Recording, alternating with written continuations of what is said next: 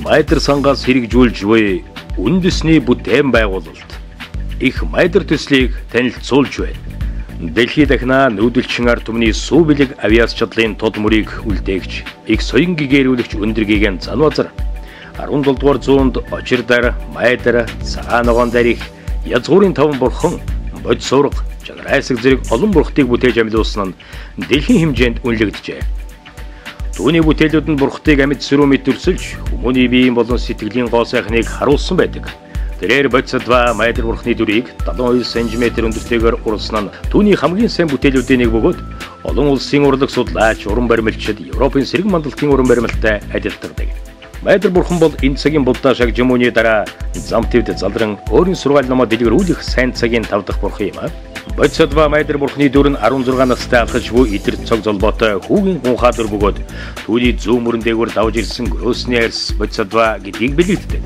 Зүүн мутартаа бумтай аршаан барьсан хамаг авдныг мунхгийн харанхуугаас гэтлэх учир өрөөлтэй. Баруун мутартаа чонхор горвоо буюу номын хүрдийг эргүүлж байгаа мутардаг бөгөөд инхүү Майдар бурхан нь айц нөхөр нэгдмэл ухаан гэсэн утгатай эв нэгдэл инрэл нэгүсэл асрал хайр сэрэг мандалтын бэлэгдэл их үйлийг бүтээгч бурхан юм аа.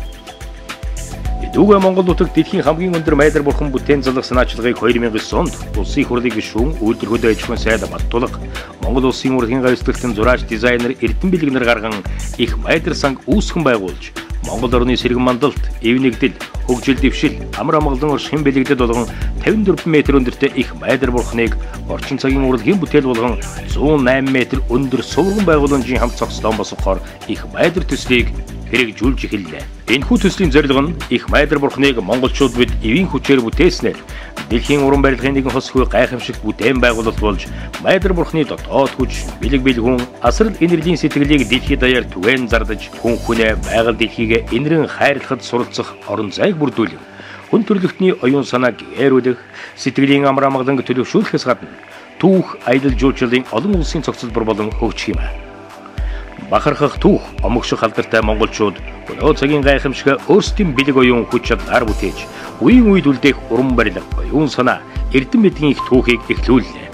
Байдар бурхан болон түүний хүрээлийн бий болох түүх соёлын цогцлбор нь байгалийн үдсгэлэнт газрын нэг болох Богдхан уулын өвөрт Улаанбаатар хотоос 50 км-ийн зайд Төв аймгийн сэргэлийн сумын нутагт орших Өгөөмрийн ам зүрх хайрхан уулын ингэрт байр. Нийт 108 га газрыг хамарсан цогцлбарын үндсэн бүтэц зохиомж нь өндөргийн зан узрын зохиож уулсан соён бүсэг бүхий ерөнхий төлөвлөлттэй байх юм байна.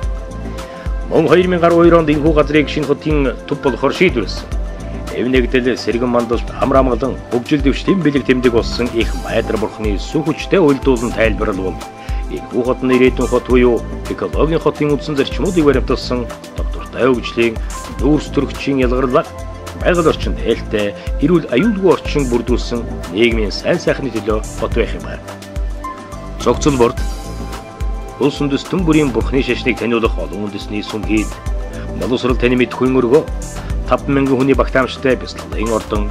Хүүхэд залуучуудын чөлөө цагаа өнгөрөөх Будда Ленд парк зэрэг таны мэдхгүй амар зугаалгын үйл ажиллагаа төлөвлөгдсөнөөс гадна худалдаа үйлчилгээний төвүүд цэцэрлэгт хүрээлэн, ногоон байгууламж, таван удаа буддист зочд бул зэрэг төлөвлөгдсөн байна. Их майдар төслийг үндсэн дөрвөн хэсэгт хуваан хэрэгжүүлнэ.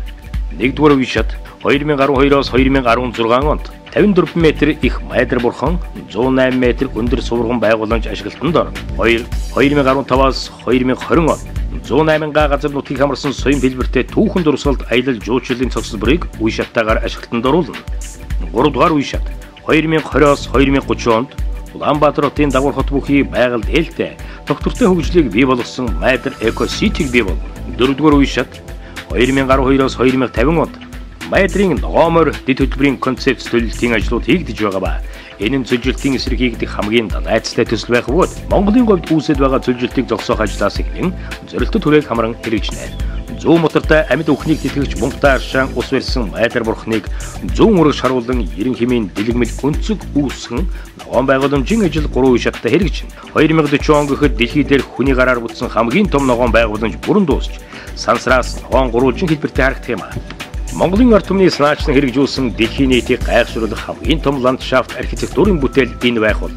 Майдар бурхны бодисодва дүр нь 72 см өндөртэй. Чойжл ламын сүм музейд хадгалагдж буй соёлын хос гүнэт өв юм. Уг их загварт голлож, соёл спорт аялал жуулчлалын яамтай хамтран зохиох журмын дагуу наривчлан сулдан дэвшилтэй технологи ашиглан 75 дахин томруулж 54 м өндөр их майдар бурхны бие лагшин гуйлан төрлийн материалаар цугтаж дуусаад байна. Их майдар бурхан нь бад цэцгэн суурийн хавтаар нийт 54 м өндөр бөгөөд өвлийн нөхцөл тасах 45 градус хүртэл хүйтнийг даах чадвартай 202 тонн ган төмрөөр дотор хийцийг угсран уран цутгуурын нарийн арга технологи ашиглан 88% электролитийн зис болон бусад материалын агуулмж үгүй C90 300 стандартын эрдэм байгалийн нөхцөл газ илүү жил хэвийн байдлаа хадгалах чадвартай.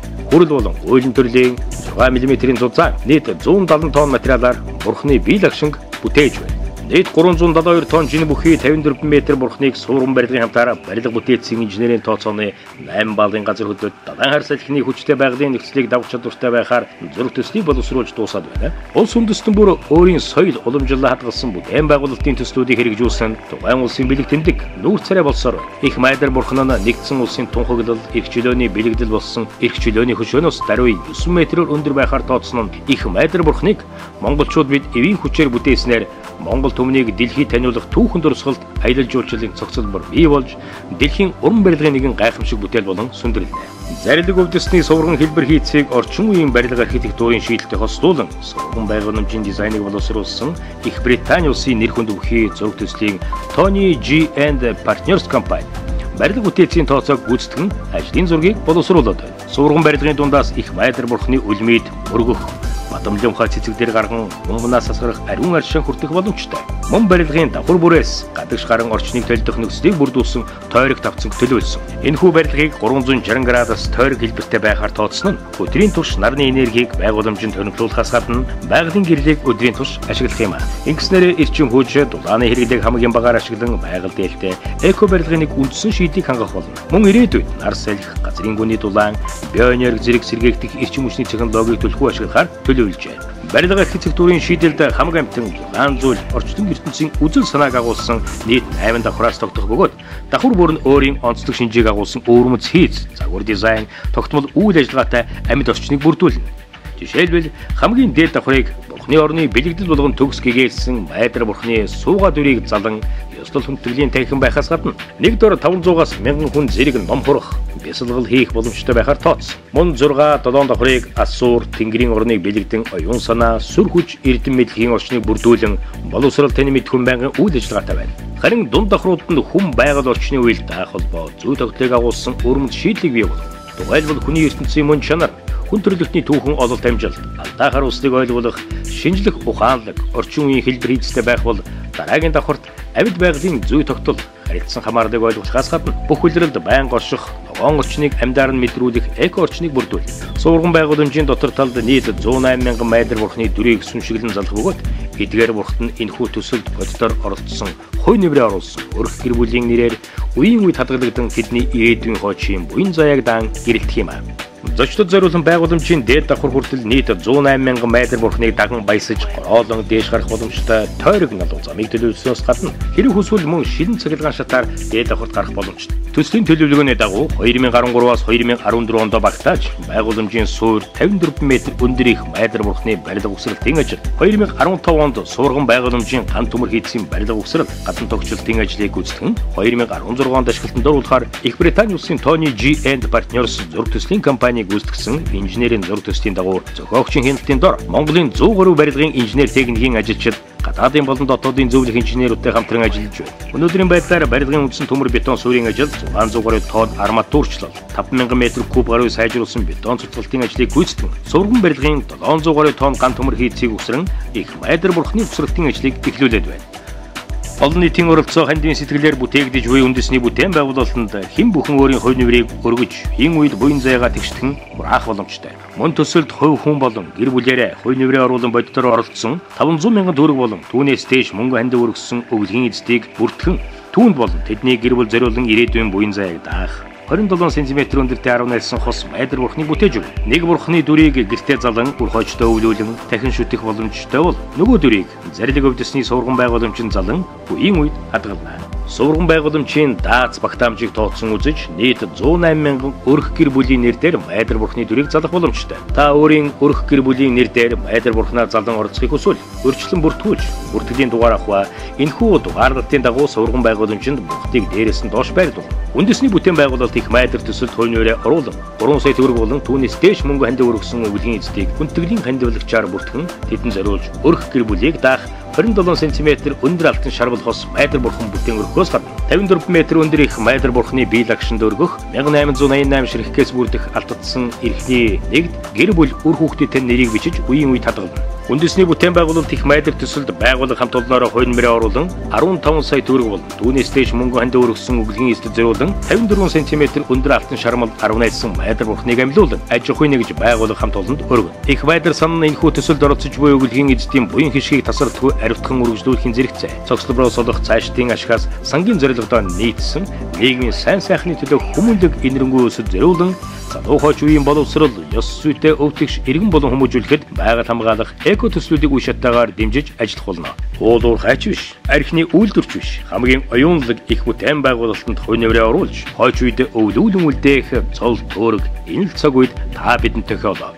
Эв нэгдлийн бэлэгдэл инэрэнгүй их байдраас бид болон бидний хойч үеийн үрс маань сэтгэлийн их хүчийг авч өв соёлоороо өн үрд бахархах болдог. Та их майдар төслийн талаар дэлгэрэнгүй мэдээлэл авахыг хүсвэл дараах утсаар холбогдоорой.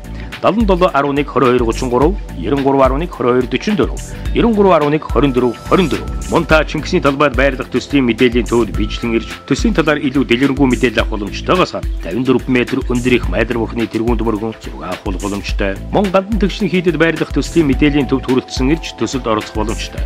Өөрийн телефоны альч операторын дугаараас 15 22 33 тусгай дугаар руу өөрийн овг нэрийг бичин бидэнд мессеж илгээснээр бид таныг төсөлд оролцогчоор урьдчилан бүртгэж тантай эргэж холбогдсон дэлгэрэнгүй мэдээллийг өгөх боломжтой. Мөн та майдар төслийн бүх мэдээллийг www.их-майдар.cgmn цахим хаягаар зочлон авахаас гадна бүртгүүлж цахим хэлбэрээр хандив өргөх боломжтой.